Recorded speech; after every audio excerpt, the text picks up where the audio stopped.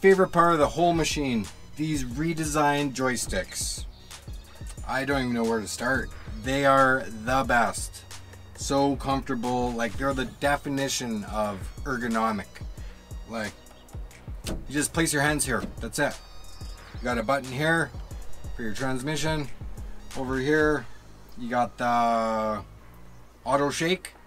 So at the end of your push, push that button, it'll do a little shake. You don't even have to go like that. Love it.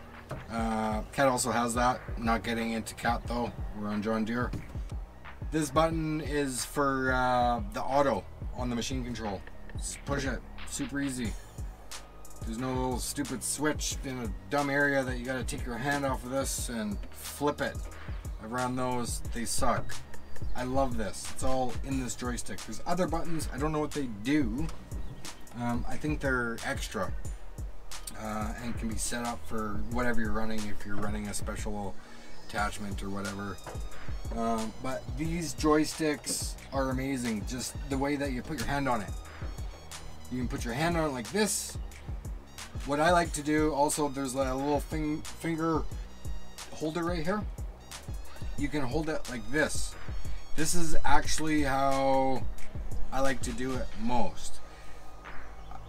I've been doing some heavy pushing, I've been doing some trimming.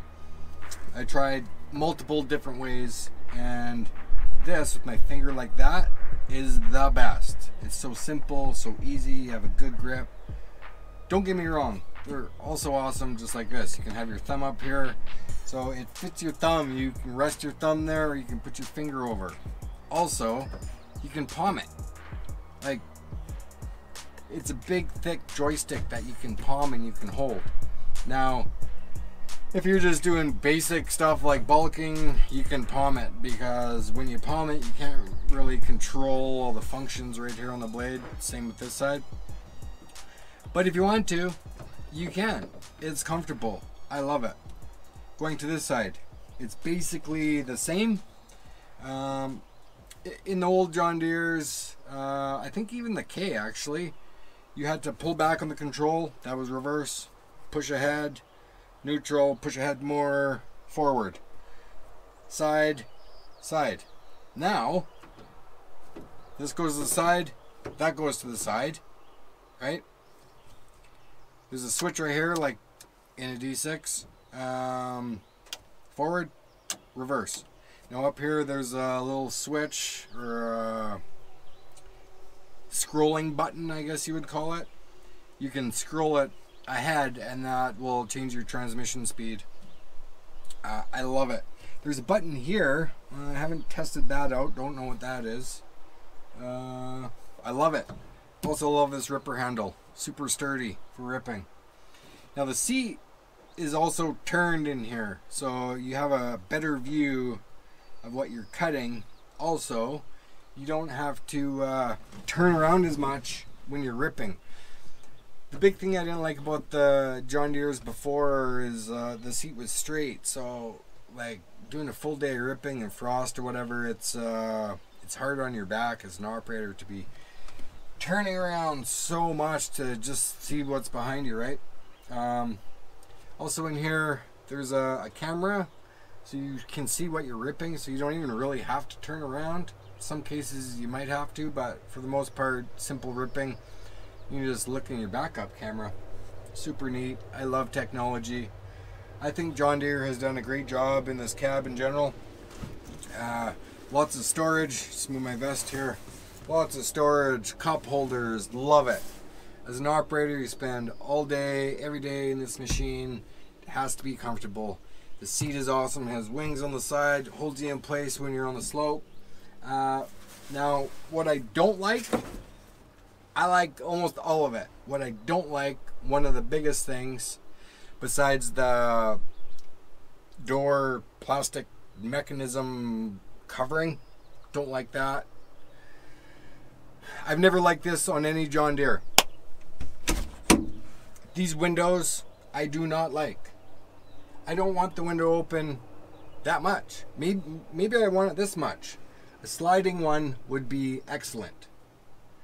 The biggest thing I don't like about this style is you drive with that open, hear that rattle? It rattles. This is a brand new dozer. I've ran lots of John Deere dozers in my day, and this has been my biggest pet peeve.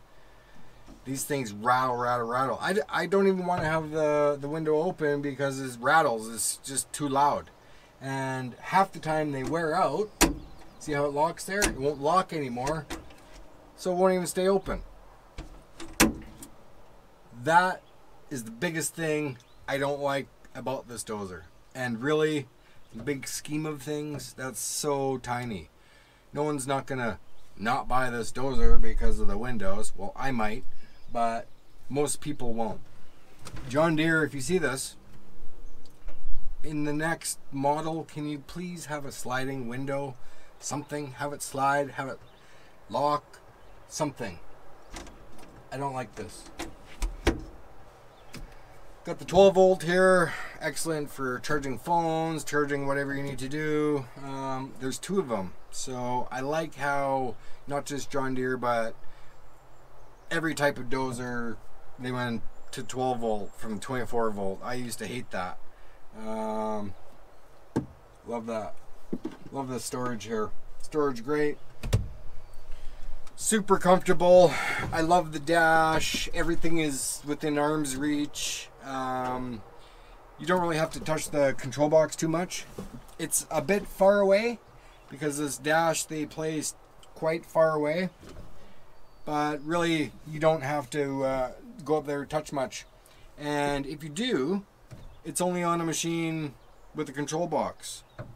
So if the machine is not equipped with GPS, you're not even gonna have to lean ahead and do that anyway. So not a big issue. Going out the door here, not a fan, or at least I wasn't when I first seen about the 850Ls. Blade lift cylinders. They're mounted on the side of the hard nose. I thought that, to be honest, I thought it would reduce a lot of vision. Now it hasn't really reduced much at all. But now that they have the engine increased to a 9 liter, they did have to make the whole nose wider. So maybe that's why I'm not seeing a huge difference just because it's a wide nose and it already has less vision. But really, I don't see an issue with any vision problems here. It looks great to me. Uh, yeah, I don't know. This dozer is great. It's good at pushing. This thing can push. Push, push, push.